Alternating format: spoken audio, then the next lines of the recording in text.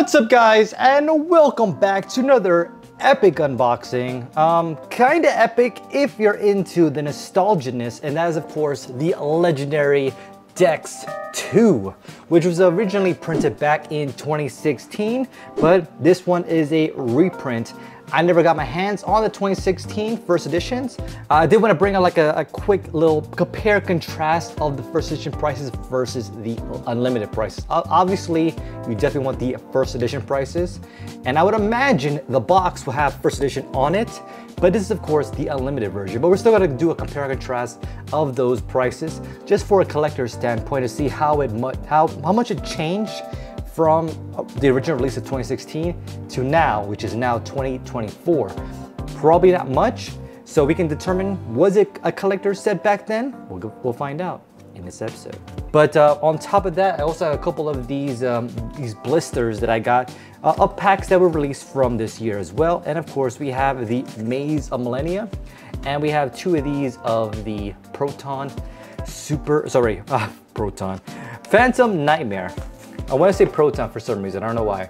Because I just did a Proton video, which of course was that video right here. But anyway, enough rambling. Uh, let's talk a little bit about the Legendary Decks 2, the reprint.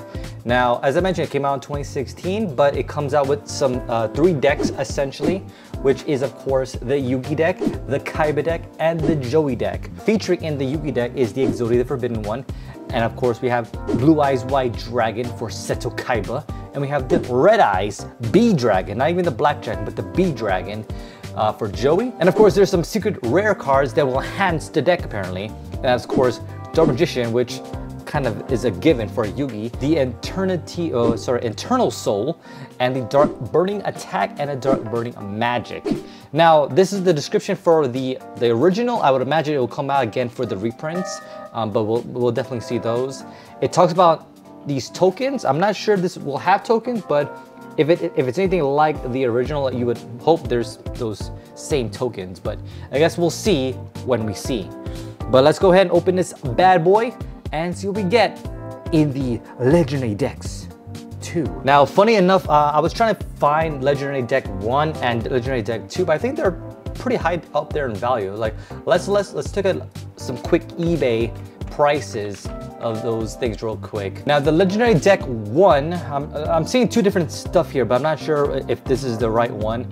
But um, basically I'm seeing one right now um, for the 2015 first edition sealed box King of Games Legendary Deck 1 and it's saying that they're trying to sell it for $219. Now the Legendary Deck 2 first edition, now I'm only seeing, uh, I'm seeing two as well, but again, I'm not sure if it's like the right thing because this might they might this might be the reprint i'm not sure but i'm seeing one for $248.95 for the first edition box for legendary deck 2 and the legendary deck 2 for this one apparently is saying it's $99.98 so again um, it does say that the product does not include a box, so maybe that's why it's cheaper, whereas the other one is a sealed one for $248. So give or take, guys, give or take, um, I see one for $195 for it, so it's actually quite up there for the first edition version of this one.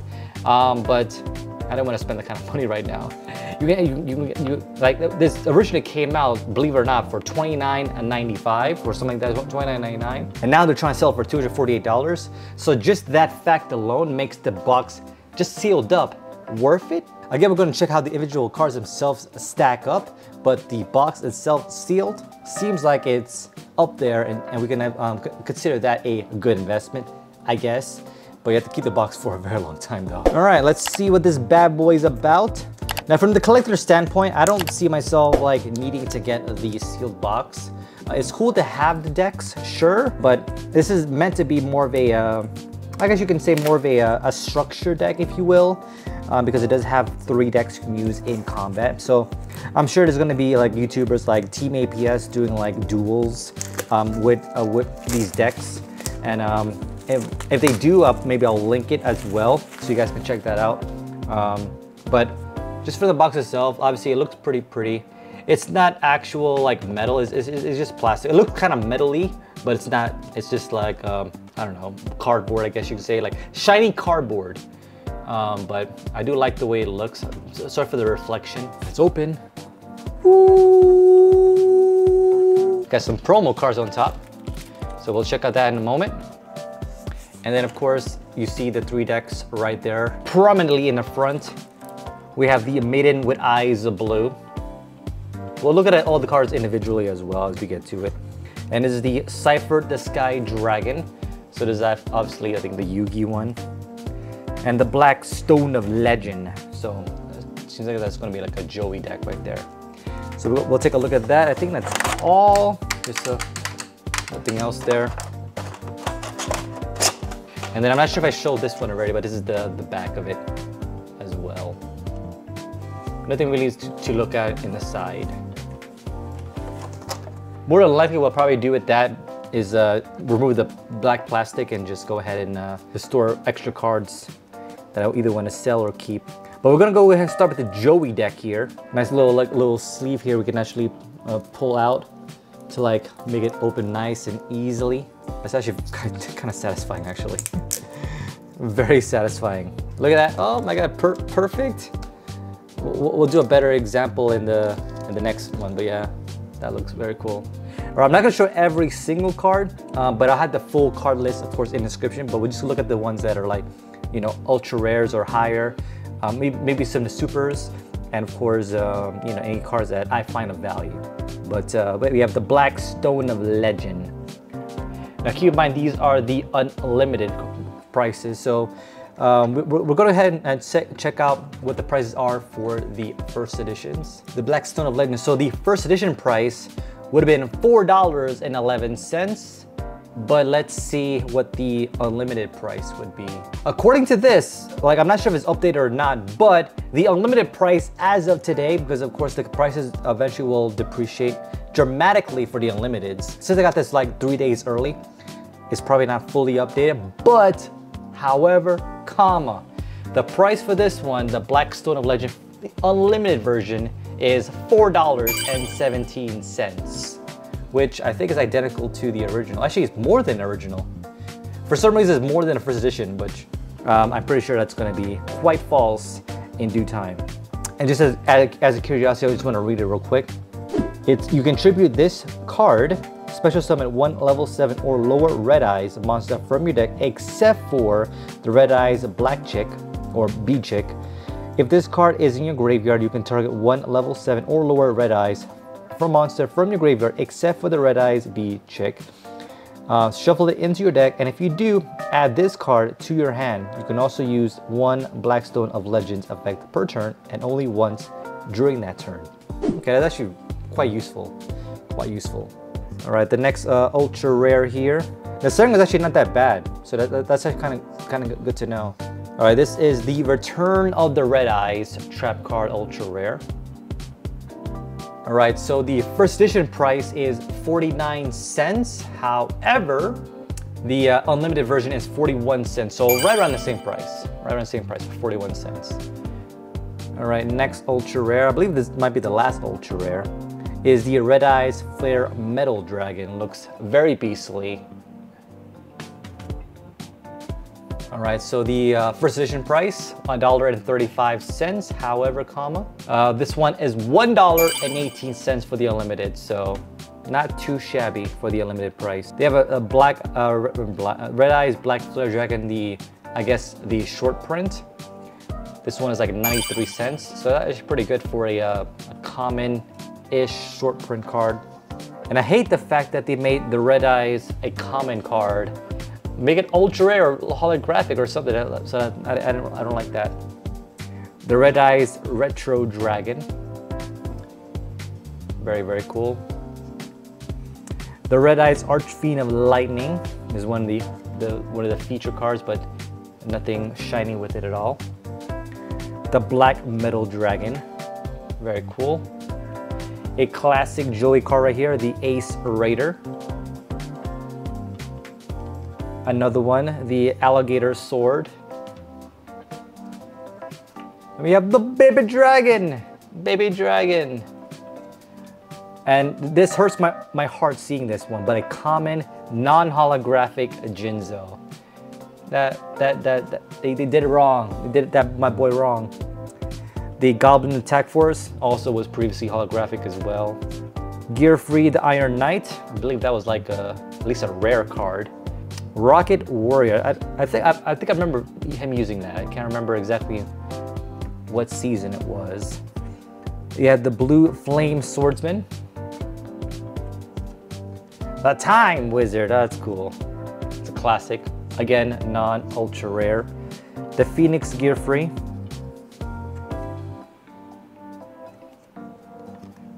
The Gemini Summoner. Waifu potential card here, the Dark Valkyria. Yeah, kind of skipping uh, some cards that are not as nostalgic to me, but again, the full list will be down in the description. So yeah, for the rest of the cards, I'm just gonna kind of show it here, but uh, just so there's a, you know, you, you can see it, but I'm just gonna kind of fast forward a little bit because they're not super nostalgic to me, I don't think. But yeah. Keeper of the Shrines.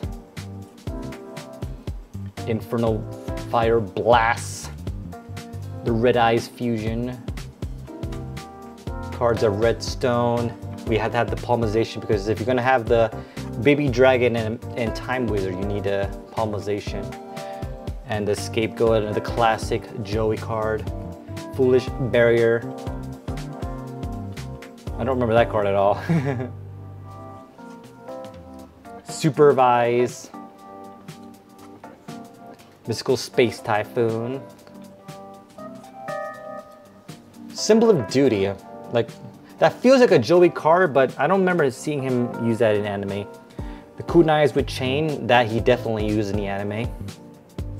Red Eye Spirit, just another, uh, you know, Red Eye's uh, support card. Call of the Haunted. The Tribute.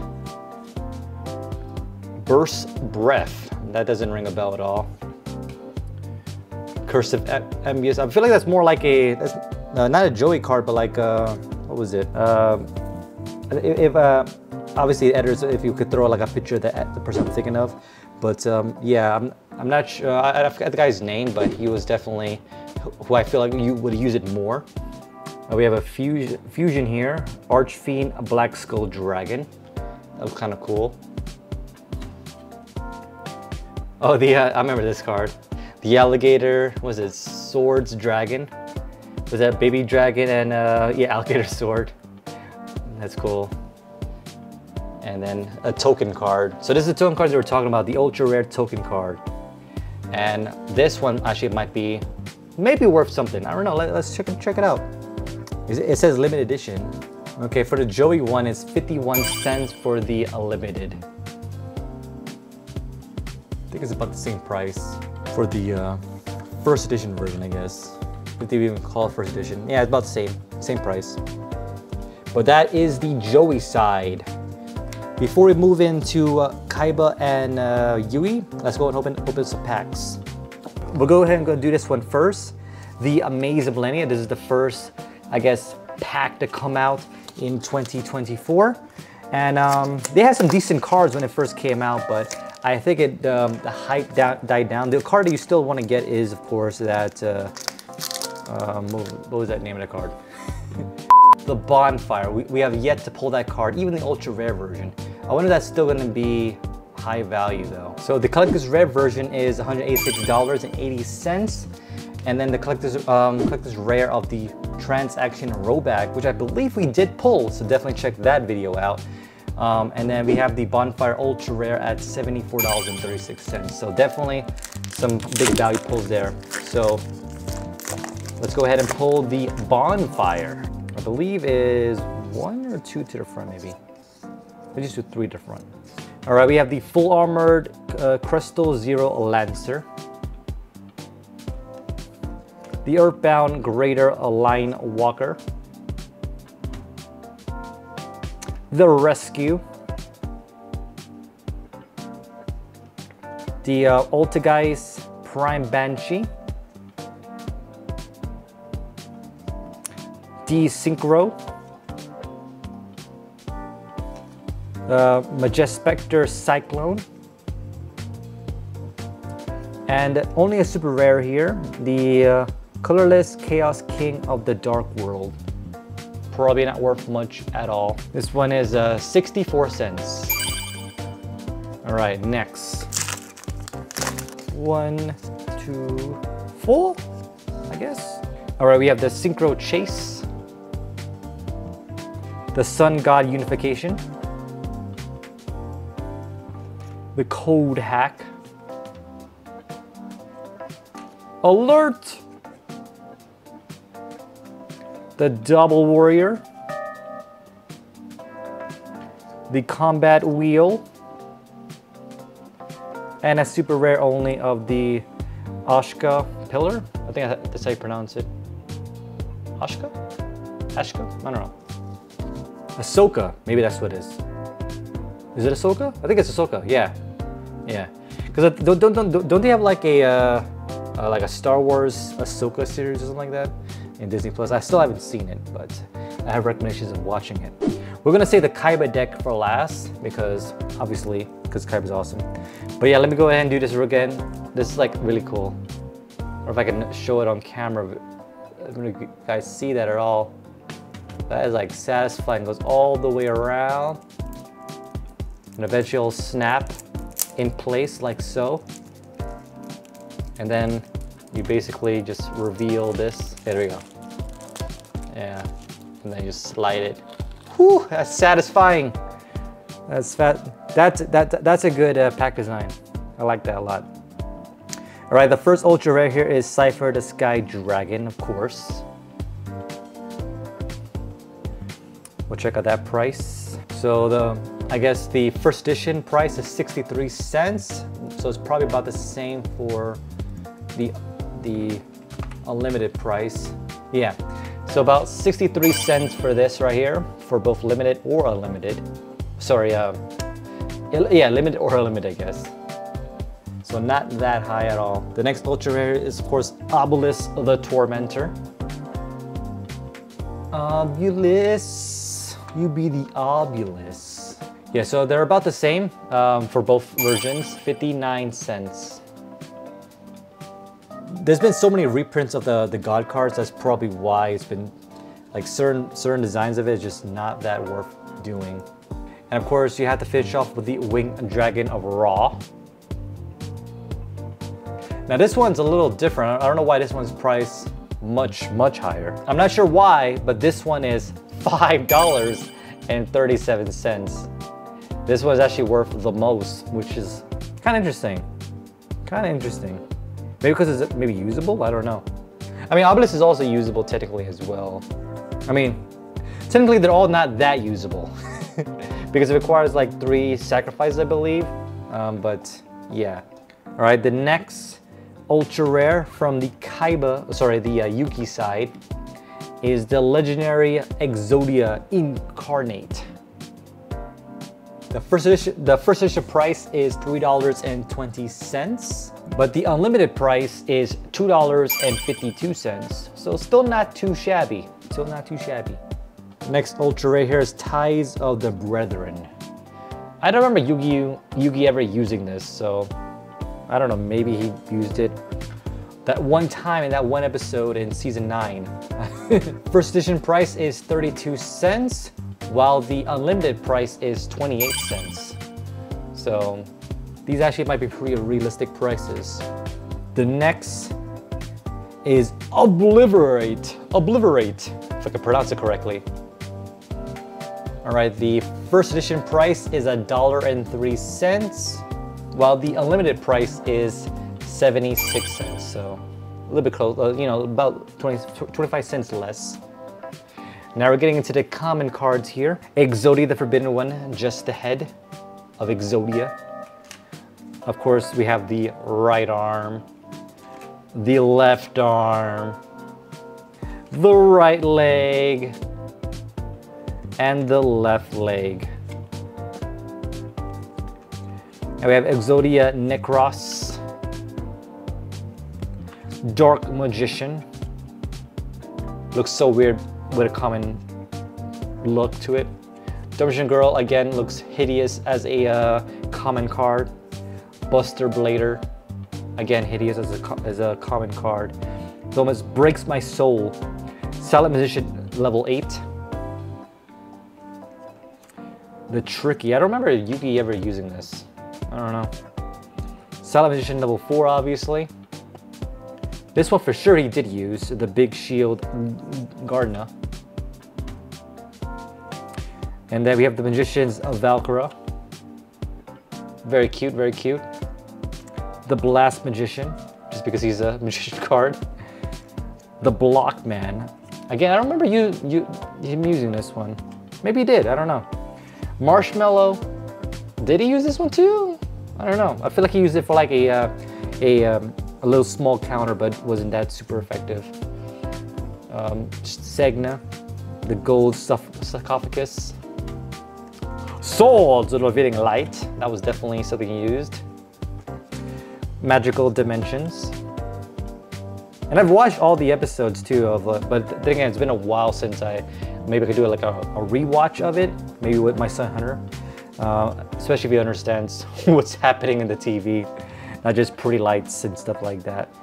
But uh, I definitely want to rewatch it with my son and see and kind of remember a lot of the older stuff that happened in the anime. But uh, definitely the, the, most nostalgic and memorable for me is season one and season two. Um, I believe it was uh, Duelist Kingdom was season one, and then I think the Battle City or Battle something like that um, was uh, season two. Those are the mo most, most nostalgic for me. Like season three, four, and five, I believe it's like it's not as in bad well. Season three uh, was kind of memorable too. Um, that they kind of dive more in the backstory of um, you know the Yu-Gi-Oh cards and stuff like that, and Egyptians. So that was kind of cool. Um, season four, I don't remember that much. That feels like more like the, the virtual one, and I wasn't really too into the the virtual ones. Um, and season five, I, I, I don't remember. I don't know. Maybe I'm confusing some of the, the stuff around. And um, obviously I'm kind of, uh, you know, skimming through a lot of these cards because a lot of these are, you know, you can definitely like, pause it and read it.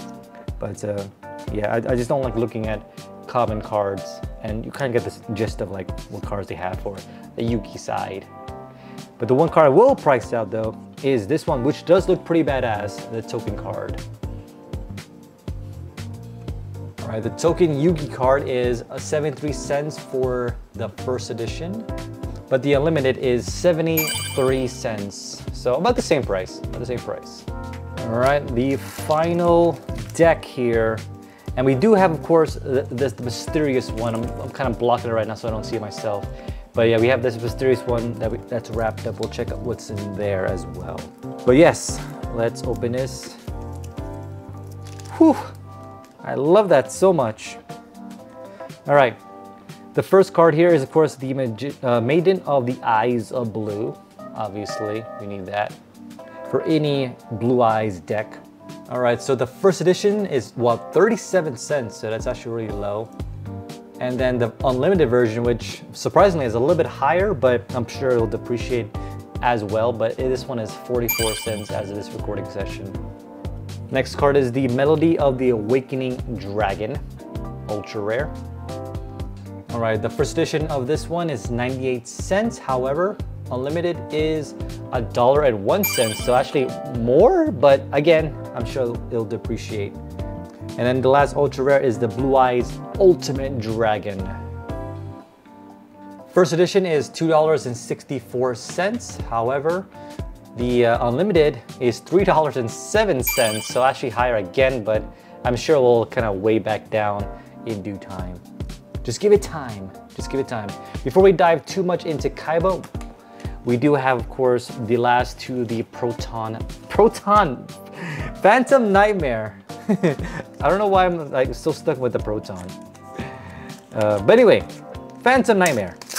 Obviously the high value price here is the quarter century rares the bestower of flames, as well as the below the prayer of the voiceless voice. So a lot of these cards are well over $200, so definitely holding its value strong.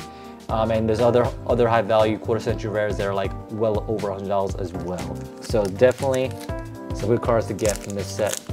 I don't think I pulled any, any quarter century rares from this yet either. I know I pulled an ultra rare at Lo the Prayer of Voiceless, but not, uh, not quarter century rare. All right, we have the white reincarnation, which is a perfect segue into, of course, the Kaiba decks. The Mystic Potato, not quite a good segue. The Illusionist. The Earthbound Fusion. The Possessor of the Tea Jar,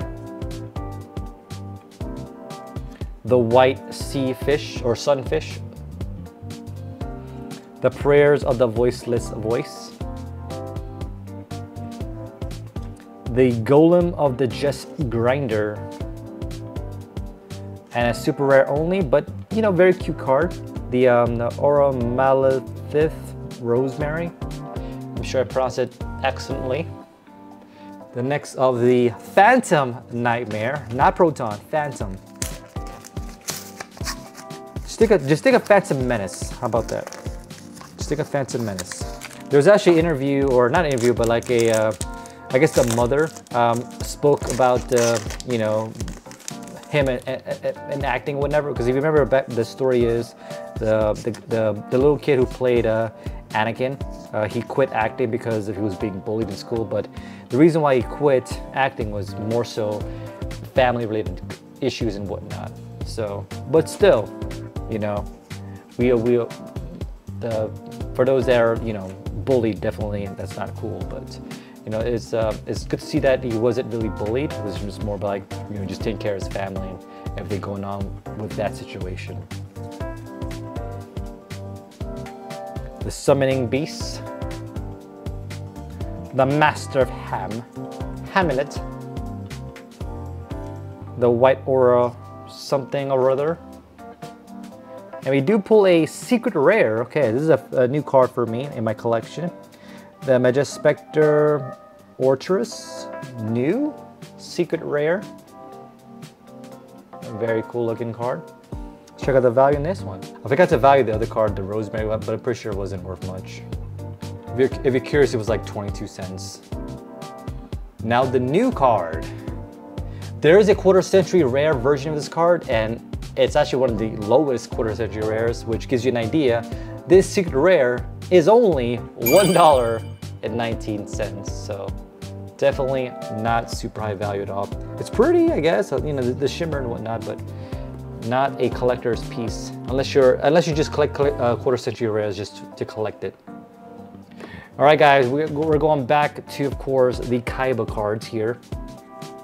We have, uh, of course, the Blue Eyes, the original, well, not, uh, uh it's actually not the original design, but the anime design, if you will. This is the original design from the LOB sets, and this is the, uh, I guess the one with the tablet in, in the rear. So three, three different versions. The Dragon Spirit White. We have the Kaiba Man. Kaiba Man, Kaiba Man. The White Stone of Legends. The White Stone of, of Ancients. The Protector of the Eyes Blue. With eyes of blue. And he doesn't even have blue eyes. Oh, no, he does. Okay. the Master of the Eyes of Blue. The Battle Ox. Another classic, classic card. Lujin. The Vol Vorse Raider. I don't remember him ever using this one. The um, um, Alexandrite uh, Dragon. But it's a dragon card, so maybe. The Blade Knight the ancient lamp, the tiger dragon. Okay, go ahead and uh, make bust these out real quick. King of the swamp. Is this? Rider looks kind of interesting, I guess the Rider, Burst Stream of Destruction, Beacon of White, something, Mausoleum, I guess, Mausoleum of White, Polymerization, the Polymerization, enemy controller, of course you have to have that, have to have that. The String card, I think you used that once in anime. Uh, the Silent Doom, ancient rules. trade-in. Where Are Thou? The pot of words I can't pronounce, I guess. The Fusion Substitute. Un unexpected Die.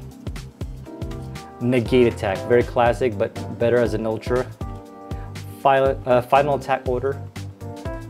The Shadow Spell. Cloning. Fusion Reserves jar of Avarice or something like that. The, uh, what is terrible centering though. The uh, Azure Eyes Silver Dragon. The first of dragons. And of course the token card. Looking very, very classy. I love it. Yeah, I'm, I'm, I'm kind of upset though. Like all the all the other token cards look good, but Th this token is like super off center and this is the one I actually really wanted. Look how terrible the centering is. It's like, it's like too long or too thick in the, the left side here and then like thin on the left side. So left to right centering is terrible. And top to bottom is equally terrible too because super thick in the bottom and then like thin in the top. So top, bottom, left and right, terrible centering. So this is like, and it's the car I really wanted as a token card and um, 73 cents, but with that centering, easily like 50 cents probably. Dropped it like 20% probably. I don't know anybody that likes who likes cars that are not centered properly. Anyway guys, we're gonna go into this right here and then we'll, we'll conclude today's episode. We, we, obviously see the very first card there, but let's open it up and see. All right, the first card here is the Dark Burning Attack. Magician Girl, of course, in the forefront. Centering on this one is actually pretty bad too. God damn it. So the Dark Burning Attack, the first edition is 62 cents. However, the, uh, the unlimited version is about the same, 62 cents. So yeah. But it's still a Magician Girl, so very pretty. The next here is the Dark Burning Attack. So this one is different. Um, the first edition price is $2.43 with the unlimited version about the same, $2.43. Equally terrible centering. Right, the final card, Secret Rare, is the Eternal Soul. I'm not sure who would use this, if this is a Kaiba card or not. All right, so $2.66, um, but it's about the same. So $2.66 for the Eternal Soul to finish it off. But yeah, guys, that pretty much includes this box, the reprint of the Legendary Deck 2. Was it, was it a good investment to keep it back in 2016? In some regard, yes, especially if you keep it sealed, but I'm looking at the, uh, the individual cards themselves, probably not so much. Because uh, if you just go ahead with the individual price, the highest price card, first edition, is that Blue Eyes White Dragon version 2 at $7.74. So yeah, individually, they suck, not gonna lie. But if you just keep it sealed and never, never, never open it, then it might be worth like maybe 150 bucks. With the original price being, of course, like I mentioned, $30. So nevertheless, guys, hope you guys enjoyed it. Thank you guys so much for the view. In the next video, I think we're coming out with a new set, maybe? I think when is the next new set coming out? Yeah, it's looking like the next Yu-Gi-Oh set is coming out like in April 25th. So um, so about another month or so, but the next upcoming set that I might open up maybe is uh, from the Pokemon series is the uh, Temporal Forces. Um, I don't know, I, I, I want to see what cards are in there to see if it's even worth my attention. Um, but since we don't have uh, Liam here anymore for the Pokemon side of the house, we'll definitely have to see if I, if I even want it as a collector. But uh, we'll definitely check it out and see and keep you posted. But it's supposed to be coming out next week. But uh, we'll see how that goes. But anyway, love you guys so much. Um, I guess I'll see you in the Legacy of Destruction. But we do have other other sets coming out that are old. If you if you look at my backboard right there, some old cards that I want to uh, like revisit or reshow or whatever the case is, and I'll definitely want to show that with you as well. So maybe we'll get some luck. Who knows? But love you guys. As I mentioned, thank you so much for the view, and I'll definitely see you next time. My name's Talos. This, of course, is the legendary deck number two and I'll definitely see you next time. Peace!